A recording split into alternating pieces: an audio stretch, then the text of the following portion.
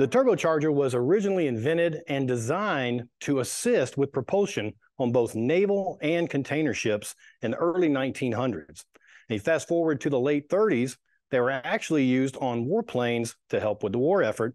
And it wasn't until the early 60s with vehicles like the Corvair where we saw mass production of vehicles coming off the line with turbochargers. Now, today in 2023, we see that the vast majority of especially four and six cylinder vehicles are coming off that line now with one, even two turbochargers in some cases. So that's what we're going to talk about today. And welcome to the October edition of the SMP Power Hour. Uh, we'll get right into it, and we're going to talk about a few important things here. So, what we're going to talk about is understanding turbocharger operation, very basic, low level. Uh, we're going to understand wastegate operation, again, at a very basic and low level.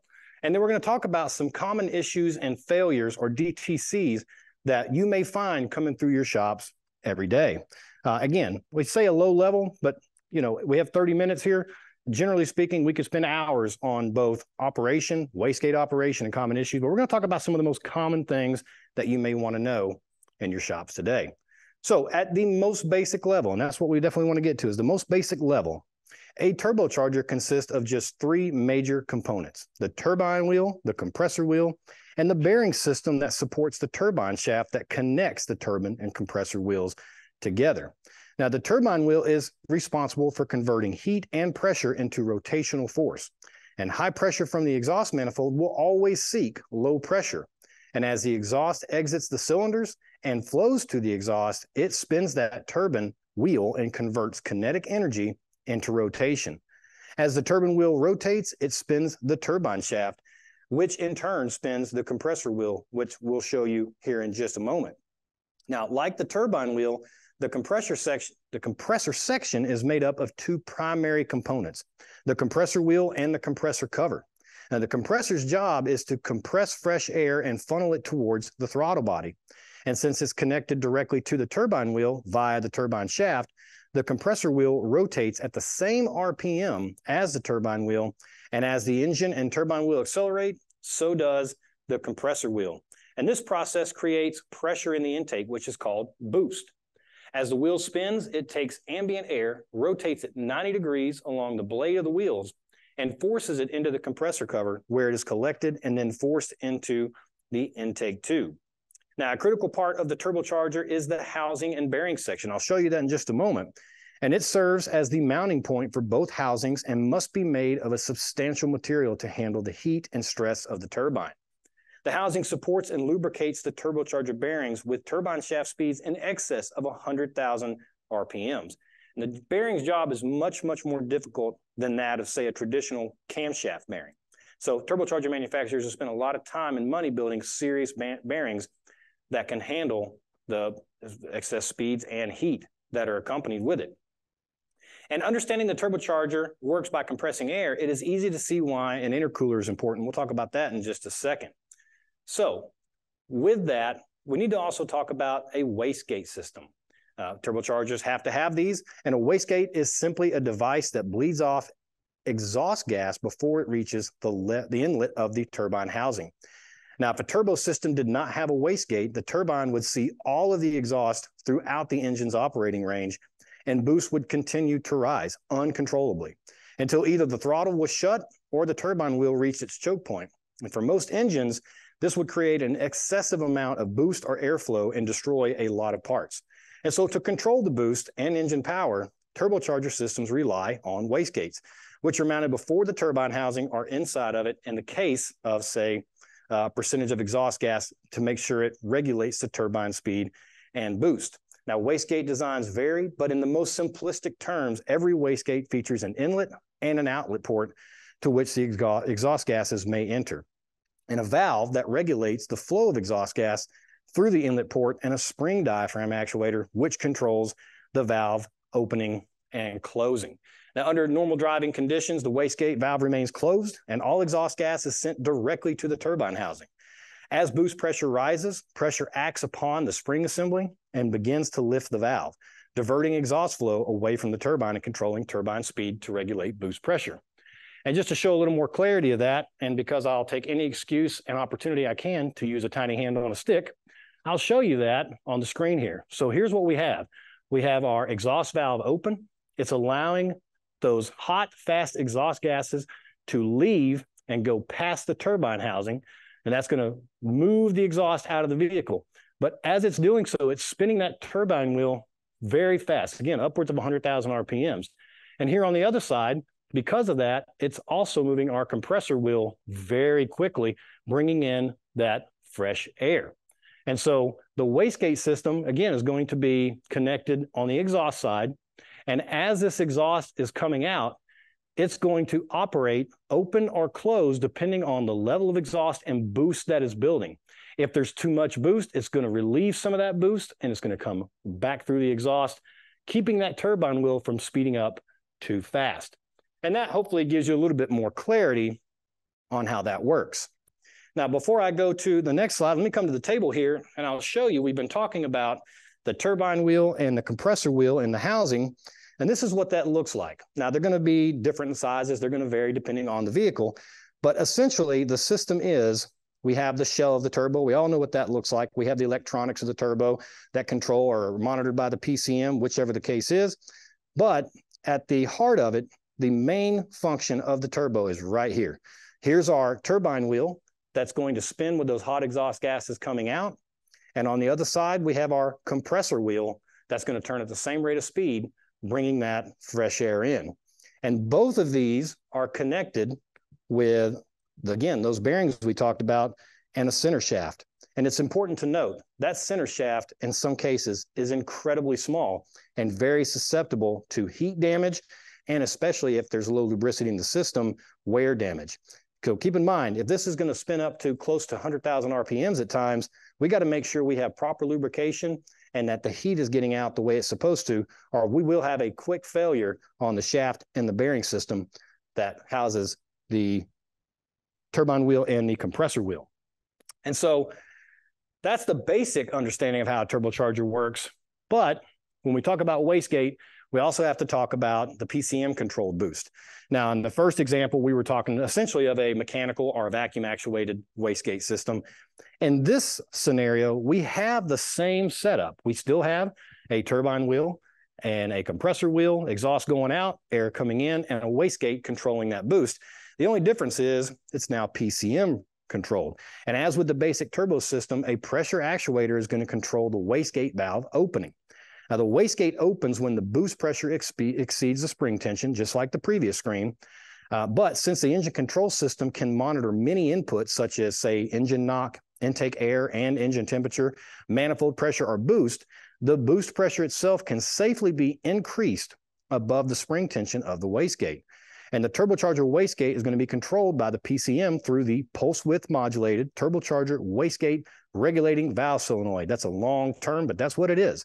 And this solenoid allows some of the boost pressure to bleed atmosphere, keeping the wastegate closed. So again, we have our same system, exhaust out, air in. We have our wastegate controlling that boost pressure. The only difference is now we have the PCM monitoring multiple components and PIDs to determine when that vent solenoid needs to do its job to control the wastegate. So fairly simple. Now, we discussed intercoolers briefly, and I'm going to touch on it just one more time here.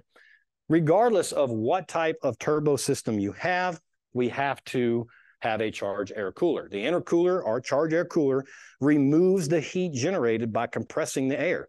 We're bringing in a lot of air. We're compressing a ton of air at 100,000 RPMs. So we have to be able to remove that heat. And intercoolers can be can you know easily contaminated with oil if the engine has a problem.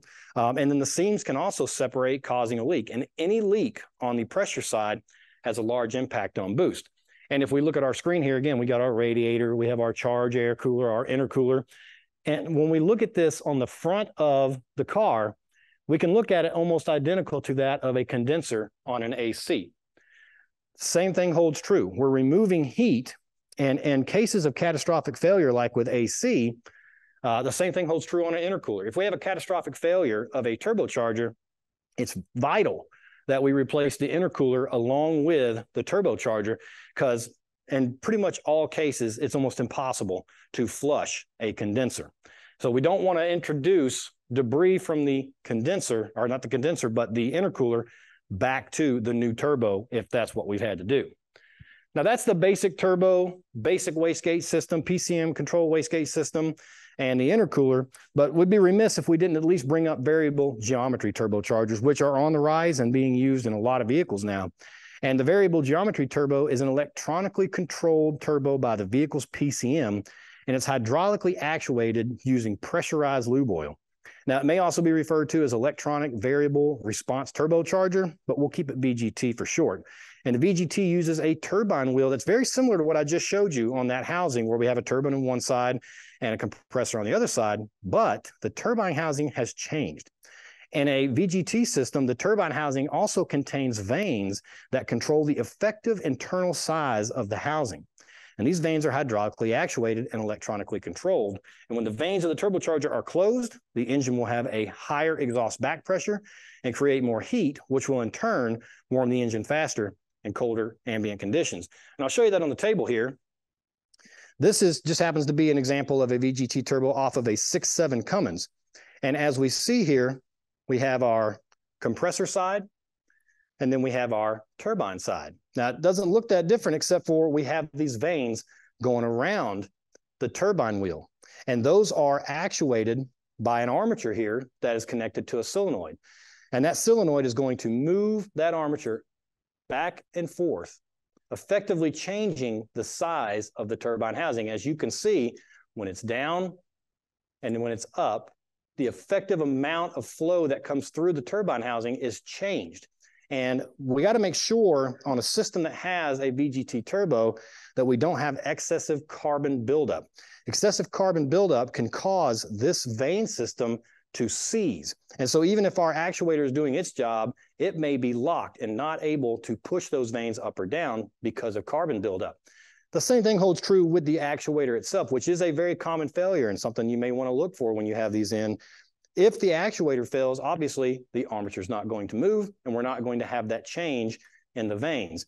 And so if that happens, whether it's the solenoid that goes bad or the carbon buildup is causing a sticking situation with the vanes, we're either going to have too much or too little exhaust back pressure at the times that we need it.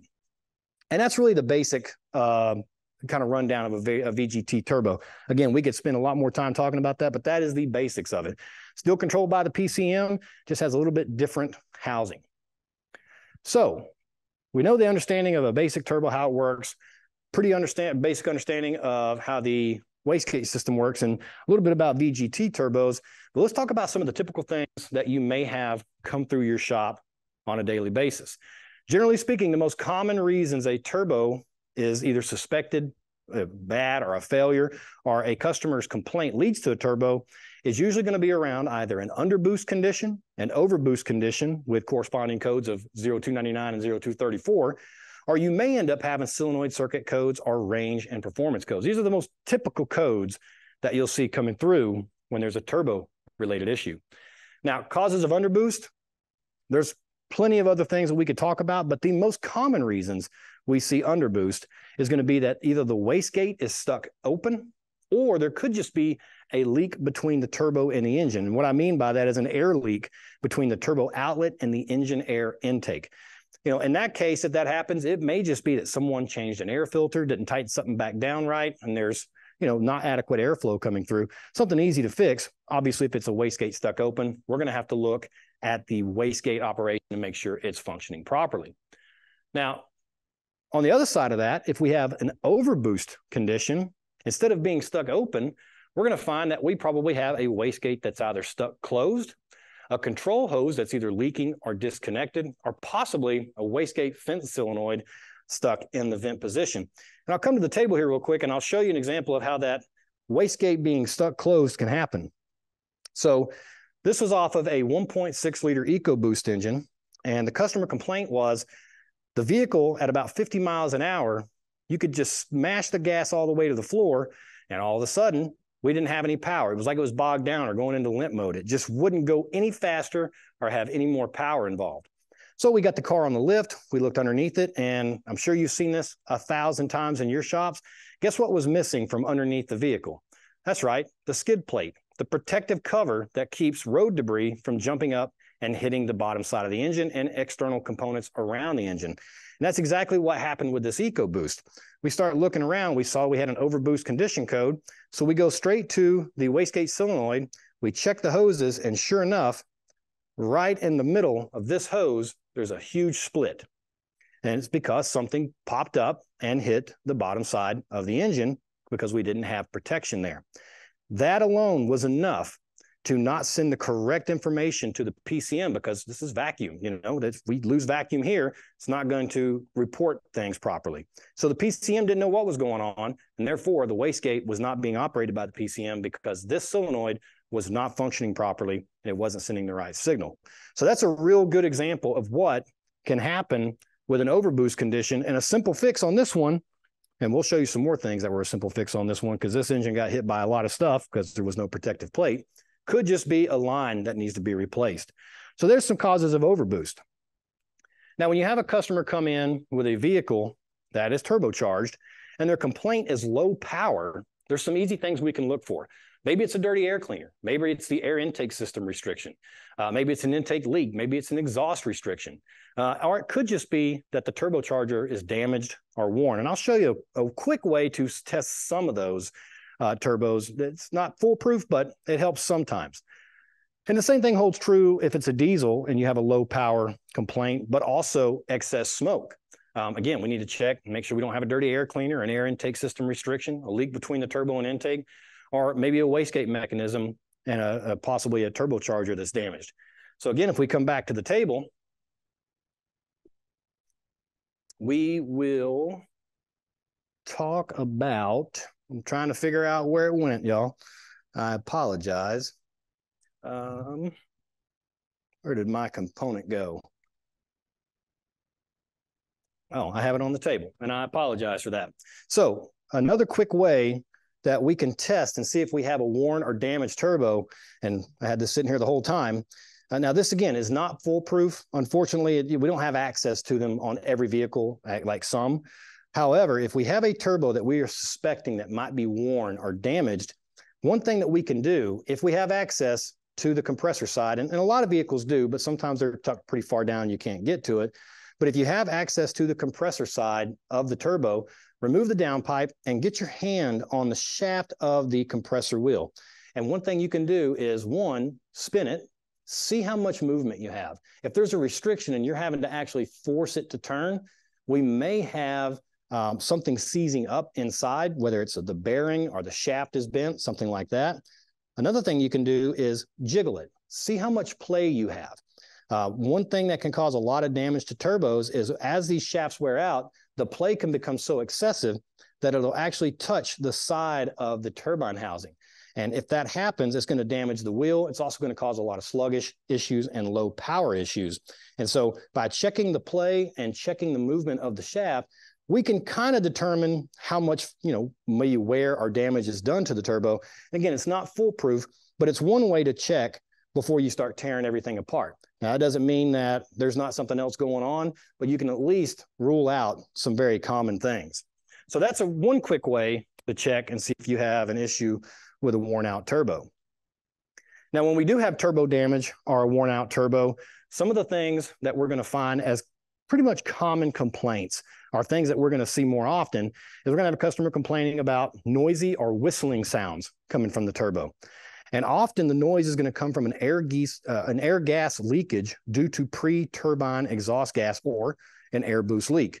Check all your joints there. Check all your hose connections and everything. Make sure they're tight. And if they are, and the noise continues, check the turbocharger clearances and wheels for housing contact. So again, what I talked about there is if that shaft is is kind of worn out and it's allowing the compressor or turbine wheel to contact the housing, we're going to have noisy whistling and some other issues like seized and sluggish. And if the turbocharger rotor assembly has seized or is tight to rotate, this is often due to lubricating oil degradation, which can cause a high buildup of carbon, like we talked about on the VGT, but it will build it up in the bearing housing interior, and that'll restrict rotation. And you know, if we have insufficient or an intermittent drop in oil pressure, that can easily cause the rotor to seize, as can introducing dirt and oil into the lubricating oil. And obviously, worn out, excessive uh, clearance issues can just be um, kind of what I was talking about when I had the, the center housing in my hand there. You got to remember a turbocharger has a specific axial and radial rotor clearance. And these are sometimes misdiagnosed as worn bearings. If the clearances are out of specification, the cause could actually be attributed to the lubricating oil and there being a problem with it. So it could be either insufficient oil or dirt or some other type of contamination in the system, coolant, what have you. So those are the most common reasons that we see noisy, seized, and worn turbo systems. Some of the reasons for that can come down to um, some very easy things. Again, insufficient oil supply or return is the most common. Um, and if we look on the screen here, we'll see what the effects of using silicone sealants will do. Silicone sealants are going to expand and in most cases restrict the flow of oil to the turbo. Um, and unless otherwise noted by service information, we shouldn't be using silicone sealants when we're putting turbos back in. And because of that insufficient flow of a sealant, it can cause damage to both the wheels, the compressor or the turbine wheel, or the shaft itself. And then dirty oil damages the turbocharger by causing heavy scoring of critical bearing surfaces. This is this is not a good thing when it comes to a turbocharger. Again, spinning upwards of 100,000 RPMs. And so to avoid damage, we got to make sure we're doing proper oil and filters. They need to be quality oil and filters and preferably recommended by the engine manufacturer. And these should be changed when a new tur- turbocharger is fitted and at regular intervals. So again, at regular intervals, but also if we're replacing a turbo, we definitely need to be doing an oil change as well as an air filter change. Uh, dirty oil can damage can you know can result from a bunch of different things, whether it's blocked or damaged or poor quality oil, uh, dirt being introduced during servicing, uh, and then of course engine wear and manufacturing debris can can cause a lot of issues there too. So it's just something to always check for. Um, whenever we're servicing vehicles with turbochargers, looking at maintenance records, making sure that oil changes are being done on time, because uh, just like the engine, you know, good, clean, quality flowing oil is critical to engine performance and longevity. Same thing holds true on turbochargers.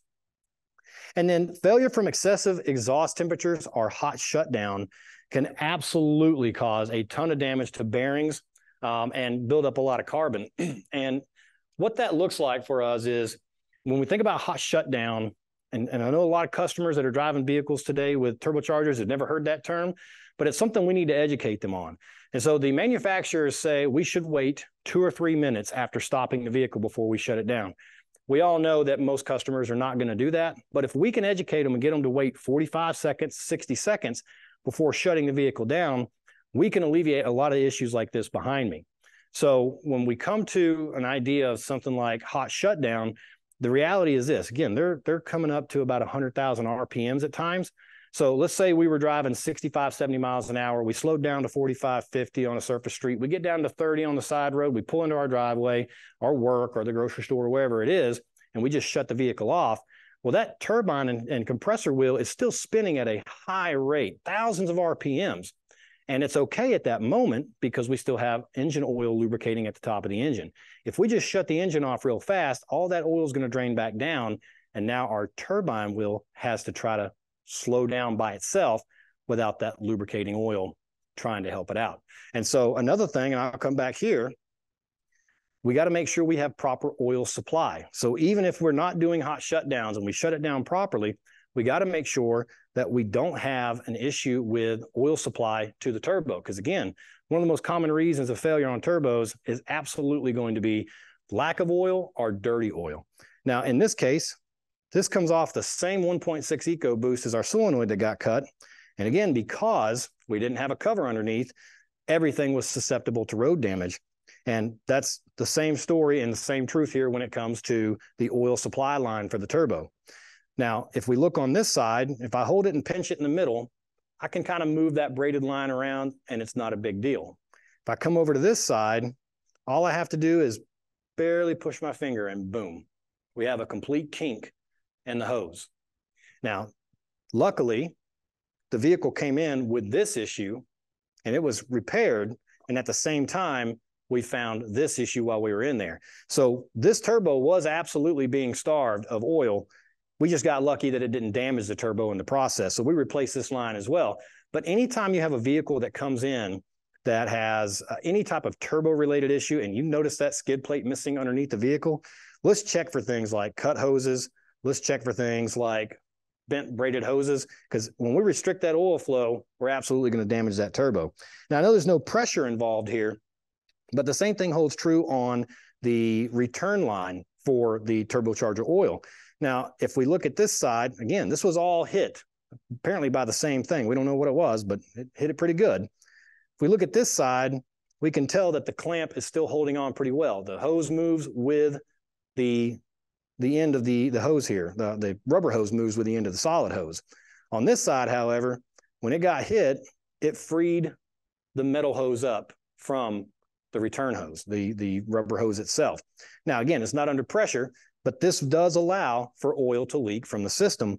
And while it may not be an immediate problem, it can over time, if the customer's not paying attention to their oil level or the way the vehicle sounds and drives, we could lose enough oil to where nothing is being lubricated properly, including the engine and the turbo.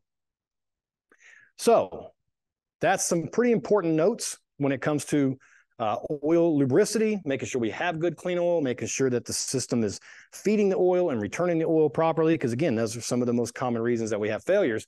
But another extremely common reason, and we see more and more of this every day, especially with aftermarket air filters, compressor wheel damage and turbine damage. So we have to remember that anytime we have air coming in at an incredible rate of speed, and like I say, these things are spinning up to upwards of 100,000 RPMs, damage can occur. And I'll show you an example of that on the table here. This is not the correct filter for a six liter power stroke diesel. I think we can all agree on that. But this came off of a six liter power stroke diesel. And you can see how much damage has been done to it just by the force of the turbo pulling air through it. So we know this needs to be replaced with the original and proper air filter type. But if we look at another example here, we can see that cheap filters and turbos simply do not mix. We look at this one, we see on the top, we have the filter without a center cap, and we have the filter on the bottom with a center cap. Take a wild guess what happened to the center cap on the top picture. That's right. There was so much force being drawn in by the turbo, it sucked that metal cap through into the compressor wheel and absolutely destroyed this turbo. So we got to make sure if we have a customer with a turbocharger that has an air intake system on the vehicle, that they are using at least a quality air filter or being recommended they go back to a standard air filter assembly that the vehicle came with so that we can avoid debris coming through the system and destroying our compressor wheels like this. And so to recap, you know, we we talked about a lot of different things very briefly. Talked about the basic understanding of a turbo. We talked about VGT system, intercoolers. We talked about the wastegate system. But the thing I want you to take back with you for the recap is this: when we're looking at diagnosing, discussing with customers turbocharger related uh, issues or concerns, we need to make sure they understand that we need clean, unrestricted airflow. We need adequate oil levels, unrestricted flow of oil, and clean oil and we need proper wastegate functionality. So for customers that have those skid plates missing, might not be a bad idea to try to see if we can get them to jump back on and get a new skid plate replaced. So with that, here's Standard Motor Products. With the turbocharger program we have in place, there are a ton of features and benefits. That way, whenever you do replace a turbo, you know it's going to stay there, it's going to last, and it's not going to come back. And that's why we put a three-year, 36,000 mile limited warranty on all of our turbos. All of our standard new turbos are quality tested to meet OEM quality and exceed in a lot of cases. We have a premium cast housing for superior durability, and the rotating journal and thrust bearings are 100% quality tested. And then we also make sure that you have everything you need when the turbo is being replaced. A lot of times we know that we need these components because just on the other side of the wall of this studio, we actually have a vehicle test facility. And in that facility, we have technicians taking turbos and, and many other parts, ignition coils, every other kind of category you can think of. But if we're going to make the part, we're going to test the part. So we're not just bench testing these items. They're actually coming to our facility here. They're being installed. And our technicians are actually looking at what do we need to install this properly? What gaskets, what hoses, what seals, those kind of things. And so whenever we do have a system where you have a turbocharger come in and it needs five or six, seven, eight components, you're going to find those components in the box with you because they've determined out there that we need this and we've tested this turbo and we know that it works properly when everything is done properly. So with that, I'll lead you and direct you to our YouTube page. If you go to YouTube and look up Standard Brand, you'll find well over 600 videos that are available for content very similar to this. And in a lot of cases, full on installation videos on how to install certain things. You can see on the screen here, the first video I've got pulled up is Chevy Cruze turbocharger replacement. Just gives you the rundown on how to do the turbocharger replacement on that specific vehicle. I'll also direct you to standardbrand.com where you can see our e-catalog. A lot of training information is there. Uh, a lot of product knowledge is there, but you can also register for future Power Hour classes. The next one coming up is Wednesday, November 8th. We're going to be doing GDI technology. So make sure you register for that for 12:15 p.m. Eastern and obviously 11:15 p or a.m. Uh, Central Time. So with that, thank you for joining us for October's Power Hour on turbochargers. And I hope you learned something. I hope it gave you something to look at and something to think about whenever you have a turbocharger related issue coming into your shops. Have a great day, and we'll see you next time.